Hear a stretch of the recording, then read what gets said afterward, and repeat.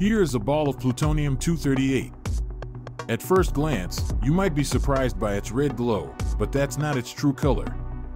Normally, plutonium shines with a metallic hue. This vibrant red comes from the heat released during its natural decay. With a half-life of about 88 years, one kilogram of plutonium-238 will transform half of its mass into other elements over that time. Imagine, after another 88 years, it shrinks to just 250 grams.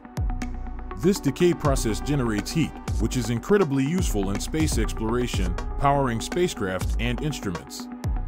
And here's a fascinating fact, the radiation emitted is not harmful to us. It's primarily alpha particles, which can't even penetrate our skin. However, if plutonium-238 is ingested or inhaled, it becomes deadly. So, while this glowing sphere is a marvel of science, it's also a reminder of the power and danger of radioactive materials.